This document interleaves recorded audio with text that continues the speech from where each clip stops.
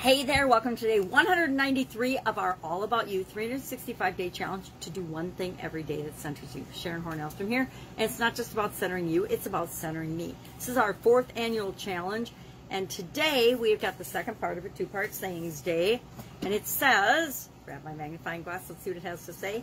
To attain knowledge, add things every day. To attain wisdom, subtract things every day. So yesterday we shared the things that we wanted to add to our life that would add knowledge. And today we're going to share what and say what I subtracted today in the comments below. So I already did this one because this was a pretty easy one.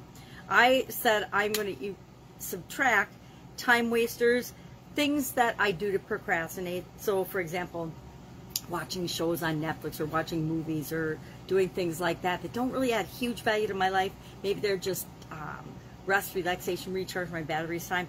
For the most part, they are time wasters. And I'll replace them with things that add value to my life. Uh, and the other thing is negative thinking. Any type of doubt, worry, fear, uncertainty, lack, scarcity, judgment, jealousy, prejudice, anger, hate, etc. Any negative emotions or negative beliefs that don't serve me, those I am wise to subtract from my life. Um, limiting beliefs, I guess I could add that. Limiting beliefs. What else?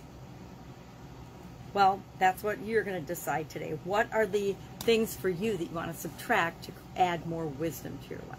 Sit, have an awesome day. I will, of course, be with you tomorrow with another challenge. Just do one thing every day that centers you from our little book and from our challenge. Have a great day, and I'll, of course, be with you tomorrow.